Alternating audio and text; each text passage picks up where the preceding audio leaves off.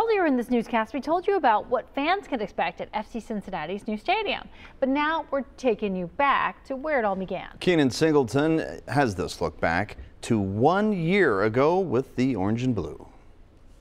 Just one year into its existence, FC Cincinnati quickly adopted a citywide tradition. That's all I heard from my family is, oh, Cincy Sports in the playoffs. Am I right, Austin? And I just, you know. This is the story of the first year of FC Cincinnati from five of the men who lived it. The coach, John Harkes, a living American soccer legend. Austin Berry, the homegrown hero and first player signed. Dan McNally, the first employee who headed operations. Omar Cummings, the former UC star and fan favorite midfielder Jimmy McGlothlin. Charleston has pulled off the upset at Nippert Stadium. FCC's opening chapter didn't have a happy ending, yet it was still a fairy tale. The club ran off 11 straight results without a loss. We were kind of trying to, you know, knock down some doors and say, you know, here's pro soccer. Harkes' orange and blueprint was simple play attractive soccer and score every home game. It only took Sean Okoli five minutes to deliver for the 15,000 at the home opener. So I remember the first home game, I was looking around, I looked at my staff. I was like, where are we?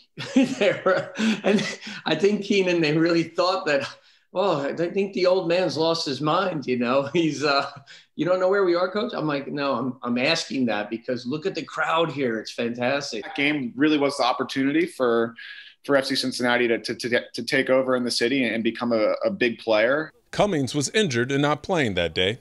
He didn't even see Okoli scissor kick, but he did hear it. I got chills, you know, the sound of it.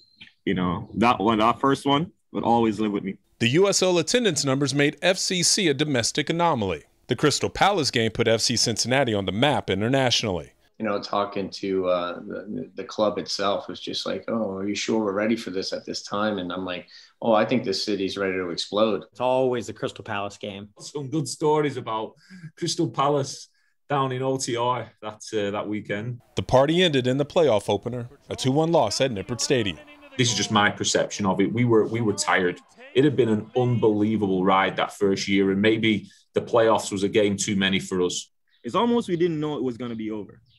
Five years since their last game, the team still lives on. We were just real. You know, we were there was no egos at the time of like you know we have all the answers it wasn't like that it was more like hey we're all in this together let's go crazy how close that group was and how uh how often everybody still talks and um, the relationships that were built from that group. That first year crew um, the, they, they get a lot of credit for for where this club is at now